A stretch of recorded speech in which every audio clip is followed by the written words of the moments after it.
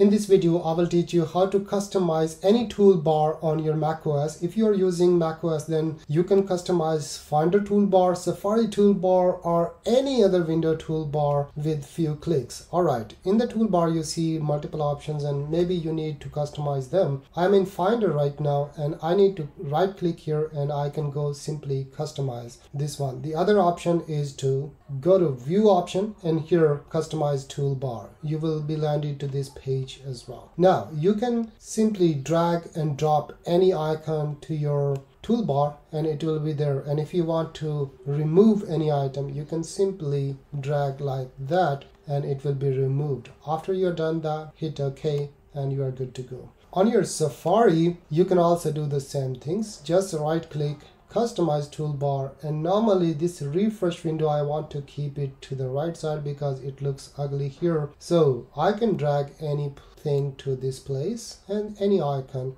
Drag drop easy. Maybe you need zoom at this place and you can simply drag this zoom to that place. Download at this site and iCloud at this side. Maybe you don't need iCloud, just drag this one there, easy peasy. And if the right click is not working here, just go to view option and here customize toolbar. If you're using M2 Mac, then you can also go to view, customize the touch bar. Uh, there is a touch bar on your Mac M2 and you can customize that touch bar as well. On Google, there is no toolbar here at the top, so you can't customize, but on Safari, and other windows inside Finder, you can easily customize them. By the way, if you want a default macOS Sonoma or any other wallpaper here, simply go to this place and choose a wallpaper here. That's very simple. And if you open a new tab like this, it will open with this wallpaper. That's really nice. If you find any value, then consider liking and subscribing. I'll see you in the next one. Bye.